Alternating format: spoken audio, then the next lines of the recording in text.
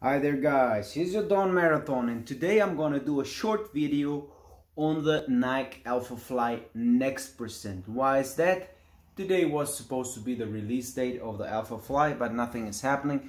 Most probably is only uh, meant for the American market for the Olympic trials however and the nightclub members which I am. However, this day, on this day I am willing to talk about the Nike Alphafly Next Percent, whether the shoe is an Alphafly or an Alpha Lie.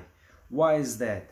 Well, the way I'm speaking over the last two years sounds to many as if I'm a Nike hater, but in fact, I'm just the greatest Nike fan out there on the market.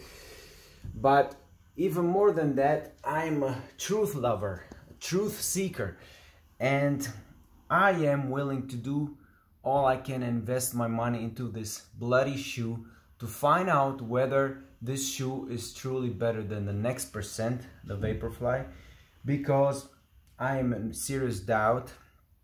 And on the other hand, I am labeling this shoe the Nike Alphafly last percent. Why is that so?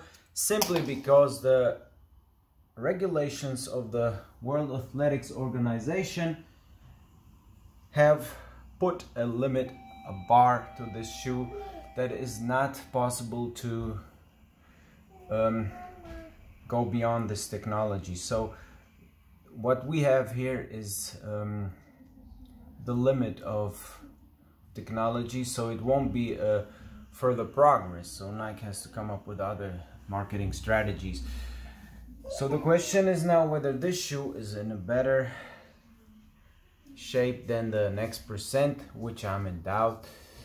But if it is, I will let you know. I will test this shoe after investing the money. I will do some serious scientific testing with this shoe and I will find out whether it is more efficient than the next percent even though I am convinced that this shoe is at limit because the regula regulations of the World Athletics Organization which seem to be collaborated with Nike have made it this way. So as soon as the shoe is out I will do some tests with my heart rate monitor and do some inter intervals at various speeds and so I can exactly state whether the the effect the the energy I put into a rep into the shoe has some certain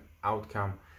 And I can tell whether the next percent or the Alphafly next percent is better or not so that you my dear friends will save a ton of money when having the decision on whether to buy it or not because I want you to keep your money for other things than for a shoe which in fact is not better. So I will find out. Maybe I'm wrong but I'm sure about the fact that this is the final improvement by Nike with regard to this series of the shoe so stay tuned for that. As soon as the shoe is out check out my video. I will do the testing. Peace out. Your Don Marathon